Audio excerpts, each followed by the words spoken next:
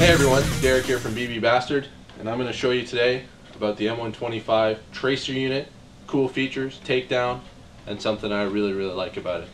Comes in the standard 6 inch can, very sleek, very nice, but for those of you who have all those specialty guns and like a, a specific silencer to go with your, your build, here's a neat feature. It's very easy to take down, you unscrew the cap, the whole module will come out just like this with the cap attached. What you got to do is you got to unscrew six screws, take the whole unit apart, and then there's three more screws that actually detach it from this end cap. What you're left with is the entire module. You take out your batteries from this end, switches on this end. Very simple. What now? What this allows you to do now is to go from this can to say something like this. Okay, a little bit longer, whatever.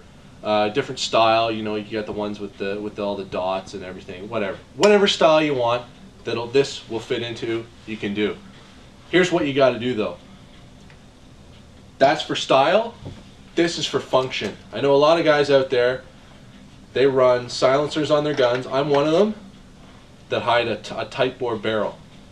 This will not work with a tight bore barrel because the barrel will actually block the sensor.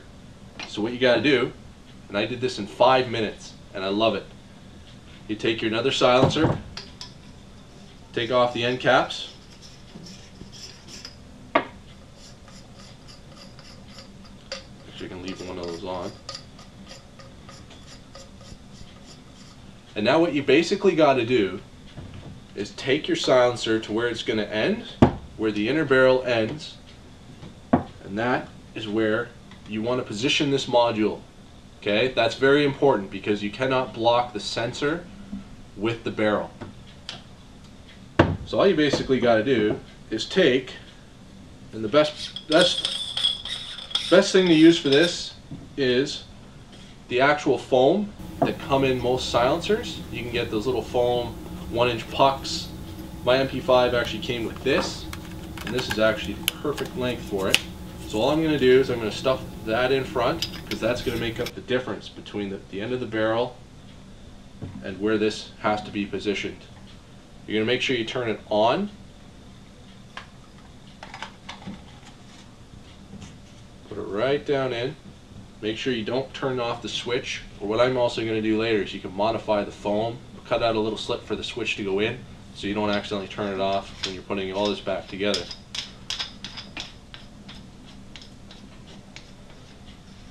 Just like that.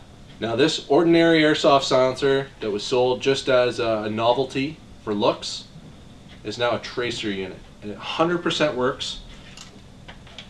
That'll just go on the end of your gun just like so.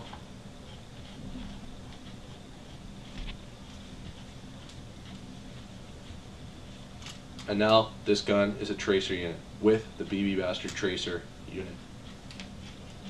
Thanks for watching. I'm Derek from BB Bastard. We'll see you next time.